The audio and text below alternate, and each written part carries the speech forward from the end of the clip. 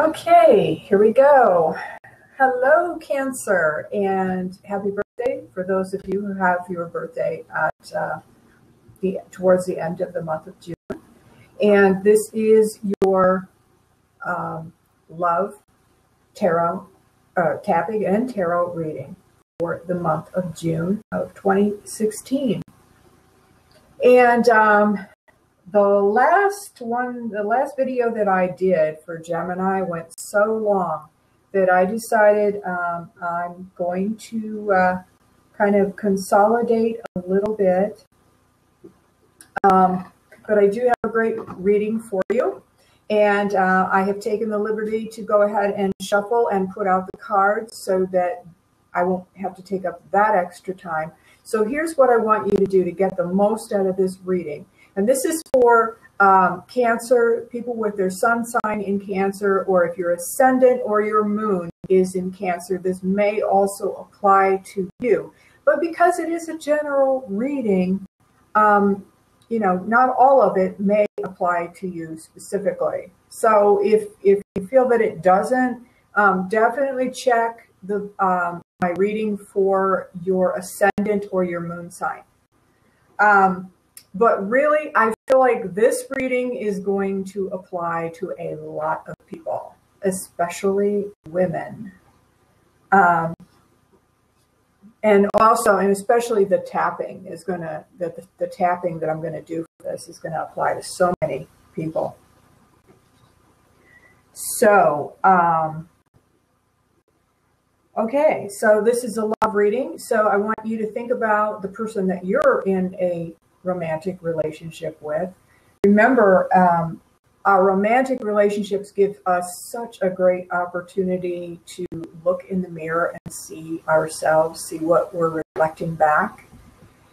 And um, in this particular reading, wow, for Cancer, um, it's it's really time for you to make some changes. So let me show you um, what the cards were that came up for you and I'll explain. okay, so card number one, right in the center. And this card in this position is representing the strength of the relationship. This is the 10 of staves and or 10 of wands, however you want to call it. And uh, the 10, this, this card um, it really represents you where you are and, and you do feel that this is your strength that you are um, one of those you know dynamos. Uh, you take care of everything. You take on all the responsibility of the relationship. You're the one who plans everything who takes care of everything. And so and you're very efficient. You're very good at it you know, you can be counted on. You're the responsible one that everybody comes to for help. Because why? Because that's your strength. You're the responsible one. So that is the strength in this relationship. However, um, the second card that came up was the Fool in reverse. And so what that's telling me is, um, you know, because the Fool upright means you can um, kind of be footloose and fancy free and have fun and kind of, you know, just follow follow your heart, follow your desires and take chances with things. But the fact that this one came up in reverse, and this is the weakness of the relationship, actually, what I was feeling with this one is that you're feeling kind of put upon. You're feeling like you're kind of being taken advantage of in the relationship because you are so responsible and you're such the go getter and you're the one that always takes care of things. That has been your role you're feeling really overburdened and and you don't you feel like man if i didn't do everything in this relationship including probably making all the phone calls probably the one sending all the text messages the one really keeping the relationship going.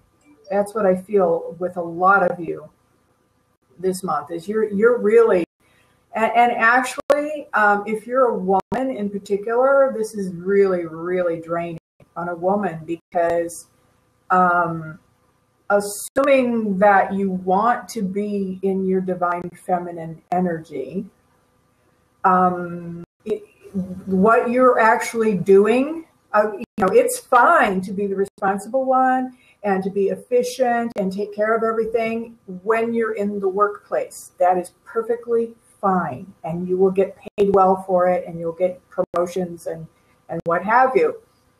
Um, however, in a romantic relationship, this is this is really bad for women to to take on that role because what you end up doing, you you end up being completely masculine you're coming from a masculine energy. Um, and it's it's because it's also very controlling.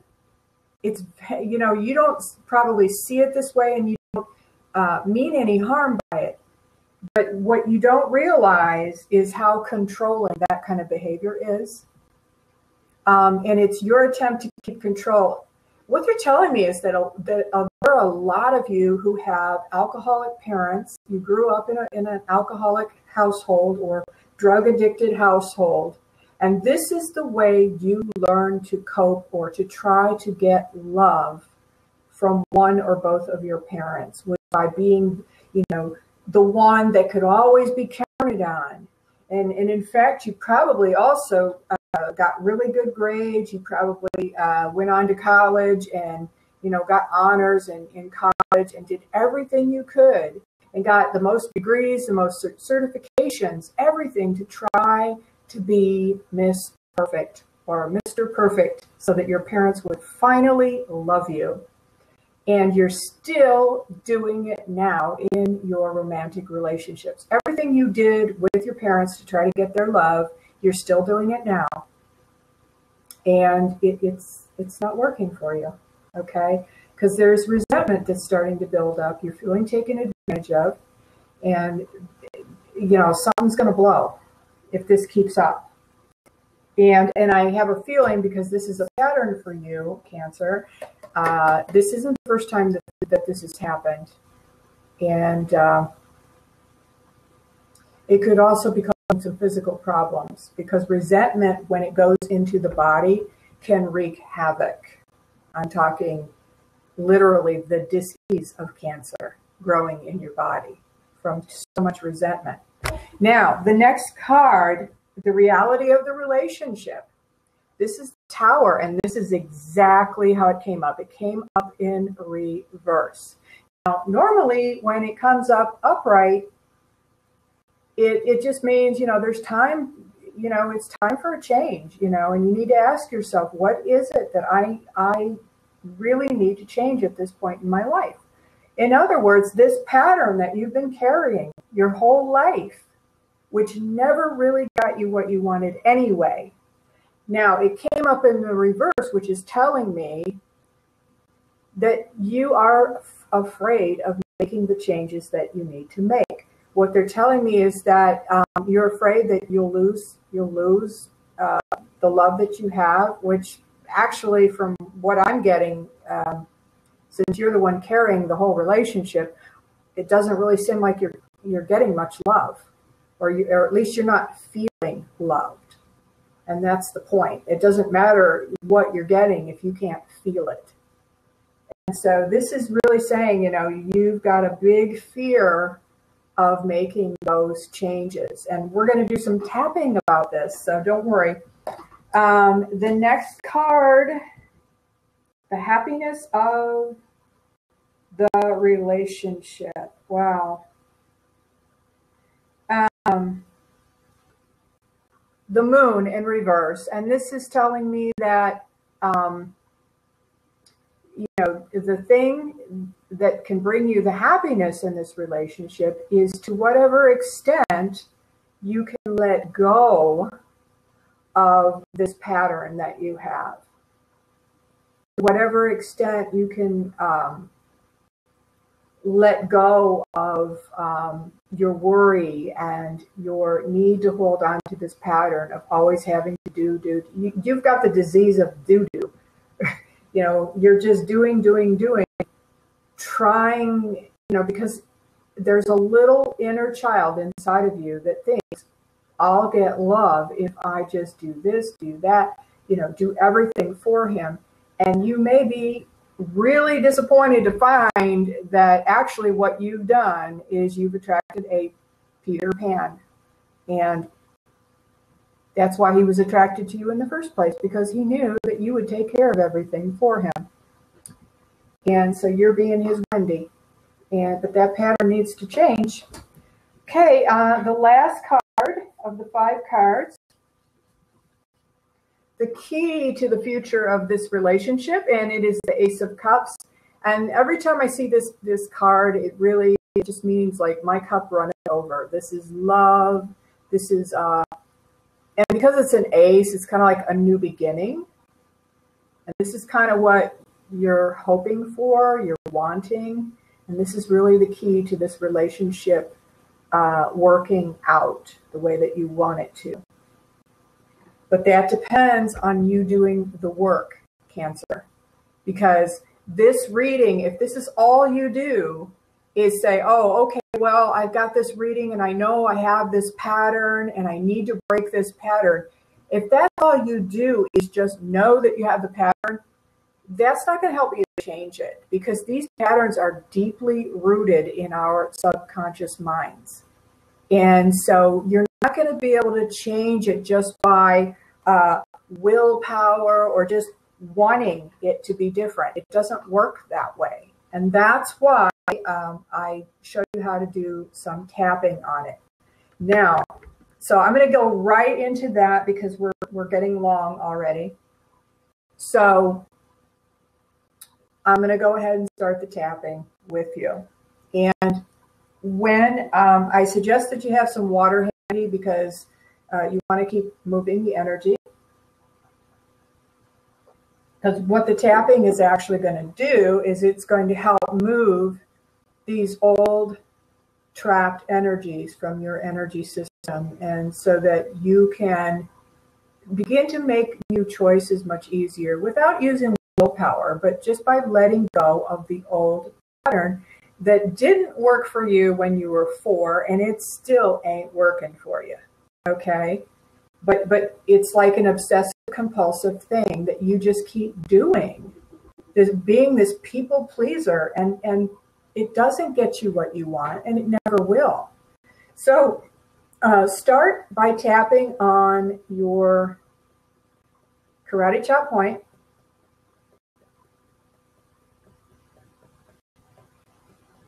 and just repeat after me. Even though I feel so put upon in this relationship, I feel like I'm the one who has to do everything, and I'm really not feeling very loved right now. And even though I'm feeling unloved, I deeply and completely love and honor myself, and I honor how I feel about this. Even though I feel like he's taking advantage of me. I have to do everything in this relationship. And just for once, I would just really love to be able to relax. But I can't because he's not willing to do anything. And I love and I honor myself and I honor how I feel about this. Even though I'm afraid that if I were to just step back from the relationship and stop doing everything that I'm doing so that he can step up maybe and be a man, I'm afraid that this relationship is just going to come to an end because he won't do anything. And I choose to love and honor my feelings, and I honor my fear that this relationship may need to come to an end. Okay, and tapping on top of the head. I'm so afraid that this relationship is going to come to an end. I'm so afraid that if I make the changes in myself that I really need to make. If I were to, to break this pattern of always being the one who does all the work and takes care of everybody else, I'm so afraid that this relationship will come to an end. I'm so afraid that this guy's going to leave. And then again, who cares? I feel like I, am I'm, I'm carrying the whole burden anyway. This this this relationship isn't really a whole lot of fun anymore because I have to do everything. And I am so willing to break this pattern. Now, on the collarbone point, I am so willing to let go of this old pattern of trying to take care of everybody, just like I did when I was a child. I, when I took care of my mother and my father, I felt like I had to raise myself pretty much. And boy, am I pissed about that. And now, every time I'm in a relationship with another Peter Pan, once again, I have to do all the work. It just brings up all that old resentment from my childhood. I never was able to just relax and be a kid. I never was able to be spontaneous and just have fun. It's so unfair. It's so unfair. I am so angry about this, I could scream. And I am so willing to break this pattern. I am so willing to speak up and to say, I don't feel comfortable with this anymore. I am so willing to communicate in a nonviolent, non aggressive way that I am not happy. And I don't feel comfortable with the way this is going. I'm willing to let go of this old pattern because it doesn't work for me, and it never did. And just deep breath, take a drink of water. I want to tell you, um, because I don't have much time left, this was just a start, okay, to work on ending that old pattern. And so, um, if you need more, more of the tapping, um, uh, if you need a private tarot reading, um, when I upload this to YouTube, I am going to have my information in the description below. So if you like this video, please subscribe to my channel and please uh, give me a like. Okay. Once again, my name is Dawn Priolat and I am a relation, relationship coach and a multisensory intuitive. And I will see you in the next video. Bye for now.